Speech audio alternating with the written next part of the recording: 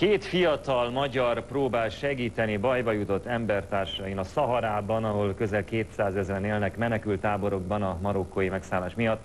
A két magyar mozgássérült gyerekekkel foglalkozik.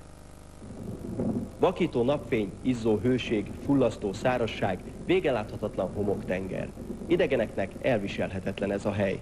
Két fiatal ember a Magyarországi Baptista Szeretett Szolgálattól mégis idejött, hogy segítsen azoknak, akik már 25 éve élnek ebben a pokolban.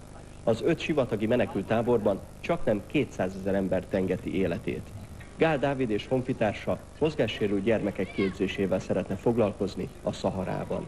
Egyrészt a hat éven aluli mozgássérült gyermekek konduktív terápiás kezelésében, másrészt az őket gondozó szakemberek képzésében szeretnénk részt vállalni. Úgy találtuk, hogy ezek a területek a nyugat-szaharai menekült ellátás fehér foltjai. A maga tehetetlen ember a sivatagban nagy terhet jelent, ezekben a menekültáborokban pedig több száz fogyatékos gyermek él.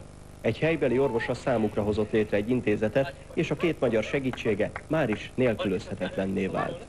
Inshallah, ez Isten akarata. Így tekintenek az itt élő emberek a mozgássérült gyermekekre. Képzett szakemberek irányításával azonban képessé válhatnak egy emberibb életre. A Magyar Baptista Szeretett Szolgálat munkatársai azért érkeztek ezekbe a menekültáborokba, hogy felmérjék a mozgássérült gyermekek közötti munka lehetőségeit. Lőrinc Ferenc, RTL Klub, Tinduf, Algéria.